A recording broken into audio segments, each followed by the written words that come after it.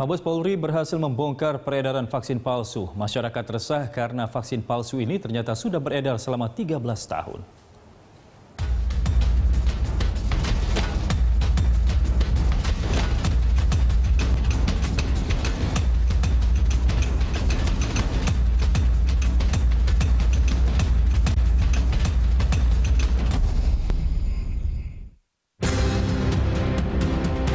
Awal pekan ini, masyarakat dibuat heboh dengan terungkapnya komplotan pembuat vaksin palsu.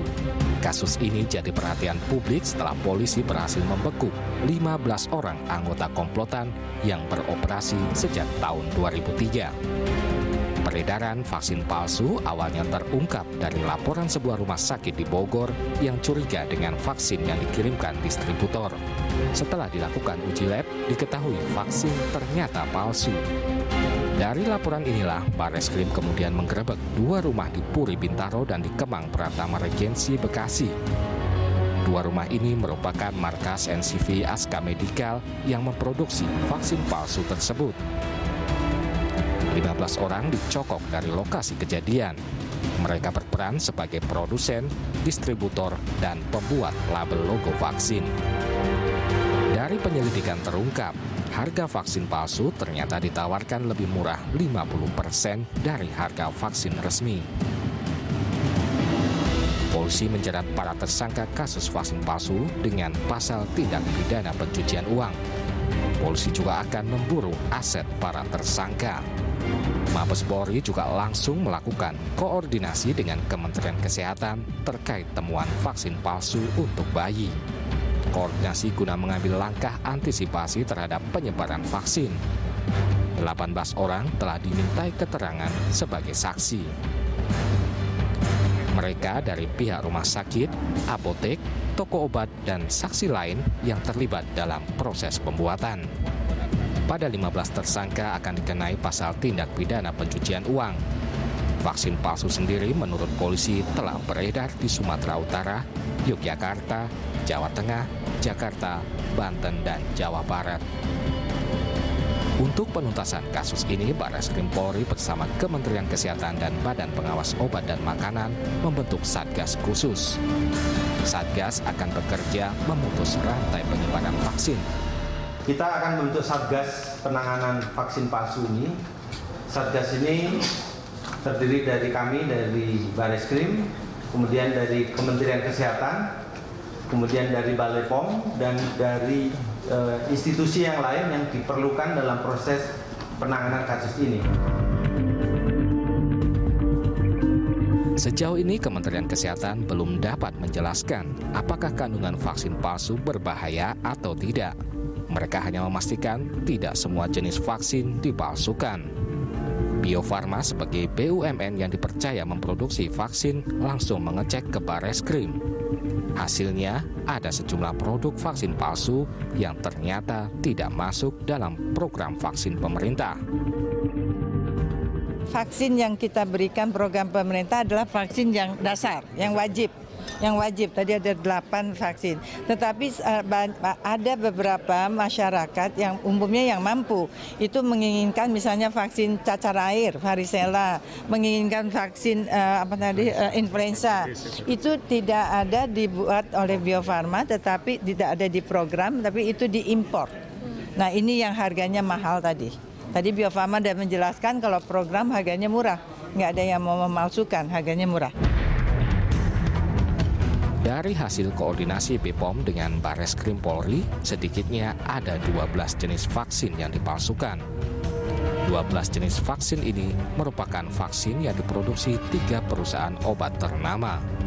Vaksin-vaksin tersebut mulai dari vaksin engrik, tetanus, campak, hepatitis B, polio, BCG, hingga Harvik.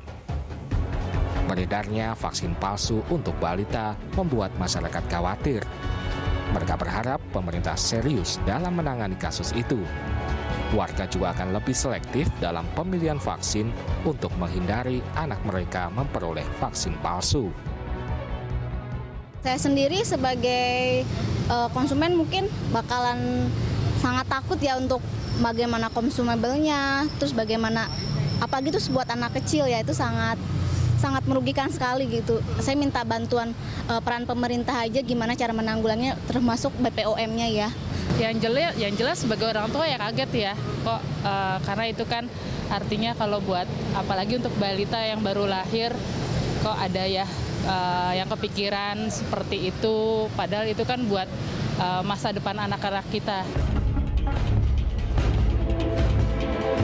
Keresahan masyarakat langsung ditanggapi Presiden Joko Widodo. Presiden tak bisa menutupi kekesalannya karena pemalsuan sudah berlangsung selama 13 tahun. Presiden secara tegas menyebut pemalsuan vaksin sebagai kejahatan luar biasa dan para pelakunya harusnya dihukum seberat-beratnya.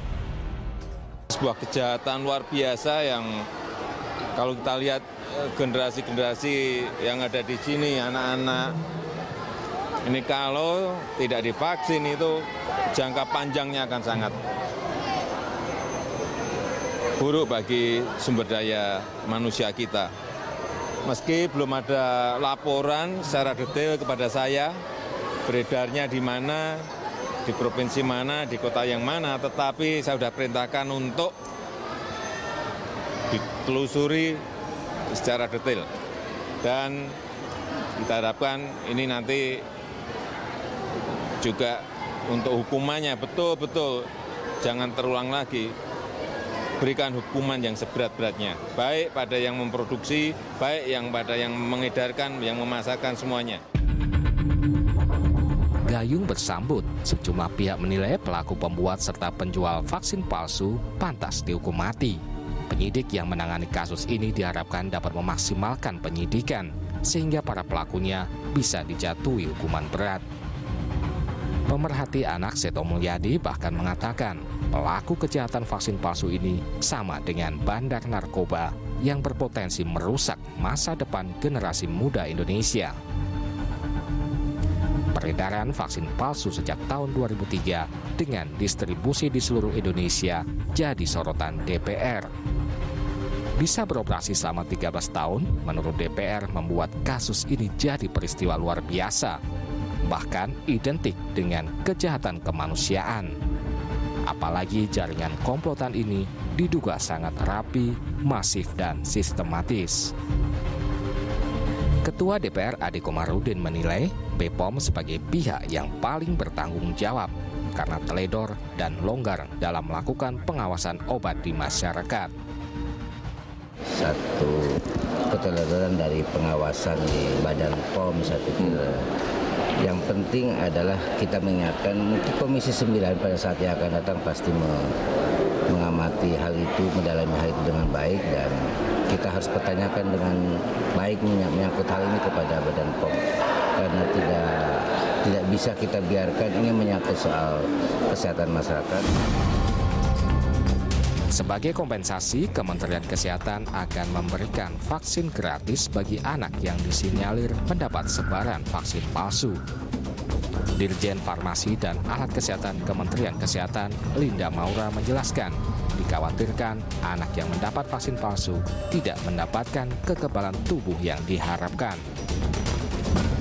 Menurut Linda, jaringan pembuat vaksin palsu yang ditangkap polisi adalah distributor ilegal yang tidak memenuhi standar operasional yang ditetapkan. Kemenkes juga akan terus mencari data ke mana saja penyebaran vaksin ini dilakukan dari tingkat apotek, klinik, hingga rumah sakit.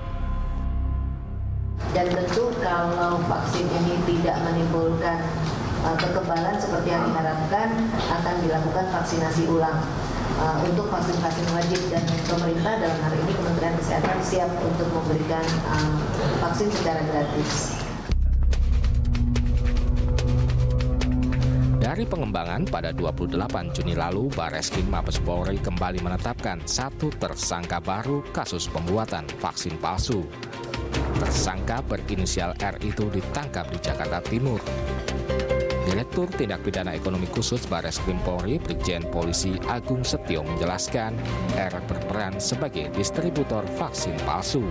Agung menambahkan, hingga kini total tersangka yang berhasil ditangkap sebanyak 16 orang dari empat komplotan pembuat vaksin palsu. BPOM membantah jika mereka kecolongan. sebab mereka telah menemukan kasus vaksin palsu sejak 2013. Dari pengejaran terhadap dua pelaku, mereka hanya berhasil menangkap satu orang, sementara satu lainnya melarikan diri. Namun karena keterbatasan yang dimiliki BPOM gagal menemukan barang bukti sehingga kasus tidak ditindaklanjuti. Terbongkarnya kasus vaksin palsu mendorong BPOM menggelar inspeksi di sejumlah daerah. Sidak ke sejumlah rumah sakit dan apotik bertujuan menghentikan peredaran vaksin palsu di masyarakat. Di Sukabumi, Jawa Barat, Dinas Kesehatan bersama kepolisian menemukan tempat penyimpanan yang tidak sesuai prosedur. Meski tidak menemukan vaksin palsu, petugas memberikan peringatan keras. Sidak vaksin palsu juga digelar Dinas Kesehatan Kabupaten Majalengka, Jawa Barat. Tim gabungan memeriksa sejumlah gudang farmasi, rumah sakit, apotek, serta klinik pengobatan. Sejauh ini mereka juga tidak menemukan vaksin palsu beredar di wilayah Majalengka. Dari sidak di berbagai wilayah, BPOM mensinyalir vaksin palsu ini beredar di lebih dari 28 rumah sakit. Menurut PLT Kepala BPOM, Tengku Bahdar Johan, vaksin ini diperoleh rumah sakit dan apotek dari perdagangan obat yang tidak resmi. Meski memiliki data rumah sakit yang menggunakan vaksin palsu, BPOM belum bisa membeberkan ke publik karena harus berkoordinasi dengan Bareskrim Mabes Polri. Ada, ada, tapi saya nggak belum diupdate. Tapi yang pasti 28 lebih lah. Berapa? Belum bahas 33, 37 atau berapa? Sedang sakit besar ada yang terlibat? Nggak ada, kecil-kecilan RB, RS, rumah sakit bersalin gitu-gitu. Hingga hari Kamis kemarin, Mabes Polri telah menetapkan 17 tersangka dalam kasus ini. Untuk kepentingan penyelidikan, tim penyidik Mabes Polri langsung menggelar prarekonstruksi kasus vaksin palsu di sebuah klinik bersalin di Ciracas, Jakarta Timur. Prarekonstruksi dilakukan karena klinik ini ditengarai berperan sebagai distributor. Melihat efek vaksin palsu yang bisa menimbulkan infeksi berat, gangguan pernapasan, hingga melemahnya kekebalan anak, tidak heran jika para pelaku dituding melakukan kejahatan luar biasa. Dan tanpa perlu perdebatan, keberhasilan komplotan menjual vaksin palsu selama 13 tahun jadi bukti lemahnya pengawasan pemerintah.